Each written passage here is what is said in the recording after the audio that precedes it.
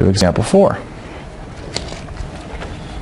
It says uh, Mr. and Mrs. Chan want to buy furniture that is a cash price of $3,450. On the installment plan, they must pay 25% of the cash price as a down payment and make six monthly payments of 437. What finance charge will the Chans pay? Well, it's 100% minus 25% down means we're paying they're financing 75% and that'd be 0.75. So 0.75 times 3450 is going to be $2,587.50. Now our total of payments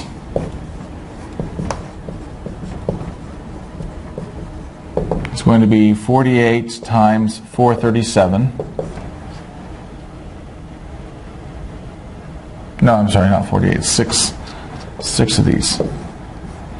6 times 437 is going to be 2622. So 2622 subtract 258750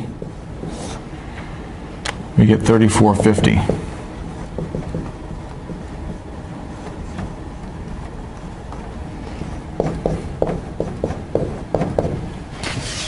So that's the finance charge. Then for part B, what is the APR to the nearest half percent? So we take our amount borrowed, our 258750.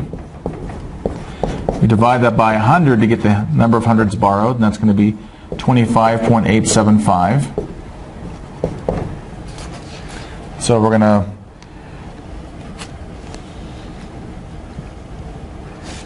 do uh, 3450, the finance charge, divided by the number of hundreds borrowed, 25.875. And that gives us 1.33, and this is the finance charge per $100 borrowed. This number we'll look up on the chart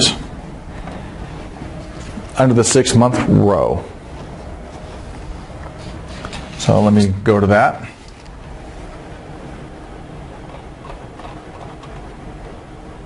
Okay, we could probably leave this all up here. Six months, 1.33. The closest we get is 1.32. And it's 4.5%.